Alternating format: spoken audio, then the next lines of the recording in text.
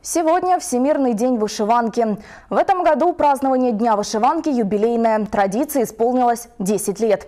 Этот праздник отмечают в третий четверг мая, именно в рабочий день, чтобы подчеркнуть, что вышиванка является неотъемлемой частью жизни, а не только праздничным атрибутом. Около, около 300 жителей Сватова приняли участие в празднике национального единства. Они не просто сегодня одели вышитые сорочки, но и присоединились к флешмобу и параду вышиванок.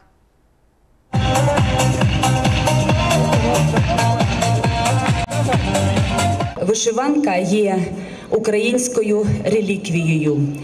Ми насправді є нащадками такої величезної культури, таких традицій.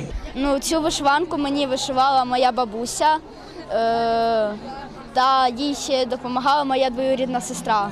Вона для мене як оберіг.